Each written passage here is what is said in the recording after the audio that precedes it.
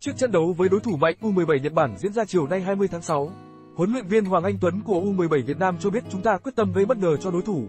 Thủ điều thú vị ở chỗ sau loạt trận đầu tiên bảng D cách đây 3 ngày, cả hai cặp đấu U17 Việt Nam Ấn Độ, Nhật Bản, Uzbekistan đều có kết quả hòa 1, 1. Cả bốn đội hiện có một điểm mỗi đội, cùng hiệu số bàn thắng bại 1, 1. Nói về cơ hội của bốn đội tại bảng D, huấn luyện viên Hoàng Anh Tuấn cho biết bốn đội trong bảng gần như phải bắt đầu lại từ đầu. Riêng U17 Việt Nam sẽ có trận đấu rất khó khăn trước Nhật Bản. Nhật Bản là nền bóng đá rất mạnh, công tác đào tạo trẻ của họ cực tốt. Dù vậy, ở lứa tuổi 15 đến 17, các cầu thủ trẻ không có sự ổn định, họ chưa hoàn thiện về mặt chuyên môn, nên U17 Việt Nam vẫn có cơ hội trong trận đấu trước mắt.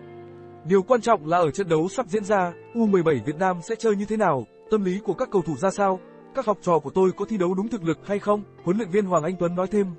Thêm trước đó, ở trận gặp Ấn Độ hôm 17 tháng 6, U17 Việt Nam là đội dẫn trước trong hiệp 1, nhưng sang đến hiệp 2, các cầu thủ của huấn luyện viên Hoàng Anh Tuấn lại mắc một số sai lầm, để cho đối phương gỡ hòa và để mất điểm rất đáng tiếc.